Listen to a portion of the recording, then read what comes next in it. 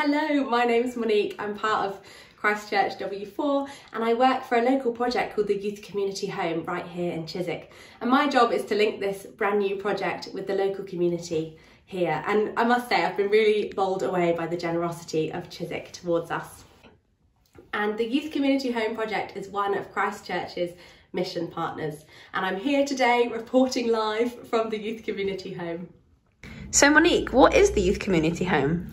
It is a housing project that opened in Chiswick in January and it offers um, a safe and supportive community for young adults between the ages of 18 and 24 who are in housing need.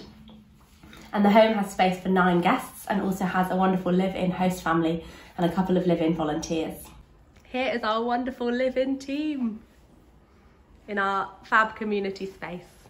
We also have a whole team of volunteers, some of whom are from Christ Church, and they come in and help with cooking or with mentoring the young people one to one.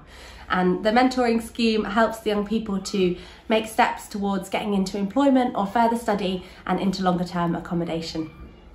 So, Monique, how can we pray for the project?